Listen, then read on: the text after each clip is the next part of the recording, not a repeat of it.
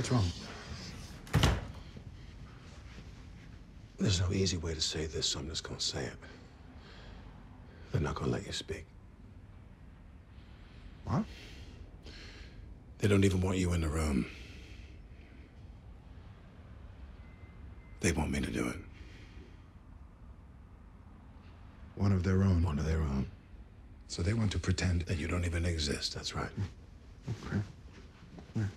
They still have to sit and listen. To you. Yes, you blew up their whole world. And yours, Julian. Yes, mine. Because how can it be possible that some African voodoo doctor could understand this subject better than them? Or even better than you? Wait a second. You think this is about Bennet Omalu?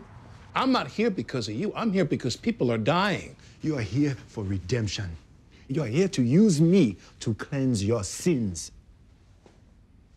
You self righteous bastard. Do you have any idea what I could have, how much I could have, if I went back to my side of the ball and just kept my mouth shut?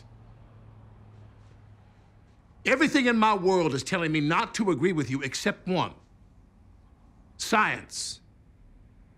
So here I am, up here beside you, not down there in that audience with them.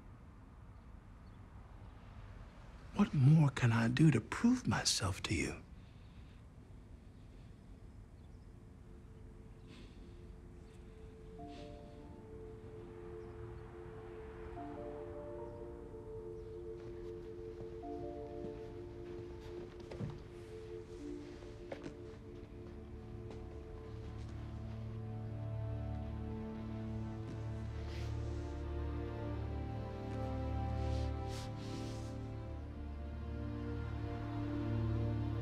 I am sorry.